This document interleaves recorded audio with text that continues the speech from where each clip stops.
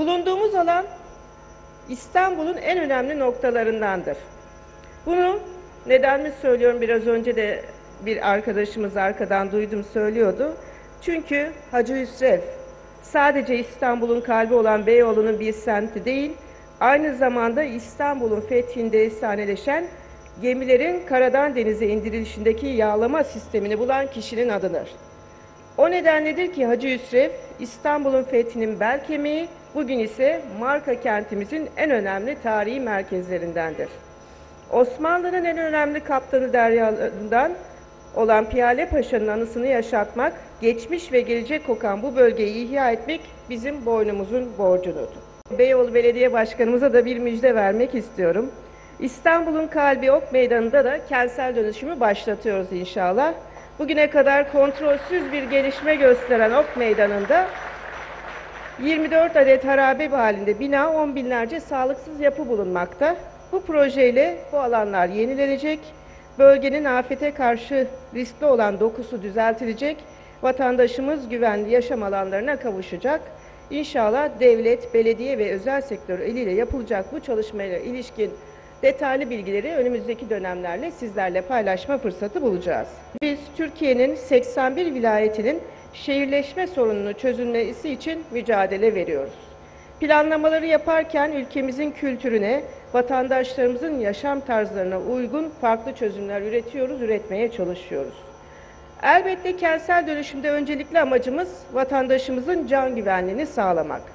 Ancak ele aldığımız konu sadece güvenlik değil, aynı zamanda kentsel dönüşümde olmazsa olmazlarımız çevre duyarlılığı olan yeşil alanlarıyla örnek eğitim, sağlık ve sosyal tesislerinin bir arada bulunduğu mimari kimliği olan estetik yapılar oluşturmaktır.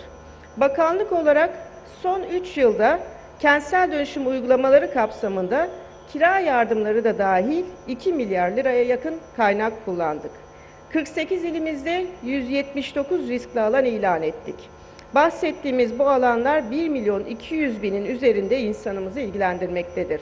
Vatandaşlarımızın Türkiye'nin dört bir yanındaki 81 ilimizdeki vatandaşlarımızın yaralarını çabucak sarmanın derdindeyken bir kesimiyle ise bu yaraları derinleşmek için uğraşıyor. Değerli misafirler, Türkiye Büyük Millet Meclisi çatısı altında tek gayemiz vatanımızın birlik ve bütünlük içinde ilerlemesine hizmet etmektir. Biz bugünlerde bu çabamızın tam anlamıyla mücadelesini veriyoruz. Vatanımızın bütünlüğüne, milletimizin birliğine ihanet eden yaklaşımları meclisten uzaklaştırmak için girişimde bulunduk.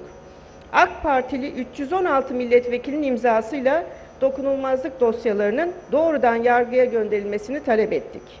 Bunun için Anayasa Komisyonumuz büyük zorluklar içinde toplantısını yapmaya çalıştı. Yapmaya çalıştı diyorum çünkü bu toplantı aynen Sur'da, Silopi'de, İdil'de, Cizre'de, Şırnak'ta veya Türkiye'nin genelinde olduğu gibi dirlik, birlik ve düzen istemeyelerce sabote edildi. Konuşmuyorlar, konuşmaktan çekiniyorlar ama her işlerini şiddetle, kavgayla, silahla çözmenin derdindeler. Farklı görüşleri, Türkiye'yi geleceğe taşımaya yardımcı olacak fikirlere açığız. Toplumu baskılayan değil, milletiyle bütünleşmiş görüşler için her zaman kapımız açıktır. Biz darbe dönemi yasalarını temizlemenin peşindeyiz. 14 yıllık süreçte de pek çok yasada değişiklik gerçekleştirdik, düzenlemelere gittik. Ancak bu yasaların hepsini bağlayan anayasadaki aksaklıkları giderilmedikçe parça parça yasalarla yapılan düzenlemeler maalesef yeterli olmuyor. Milletimiz de biliyor Türkiye Cumhuriyeti'nin mevcut anayasası Türkiye'ye dar geliyor. Evet tekrar hayırlı uğurlu olsun diyorum. Allah utandırmasın.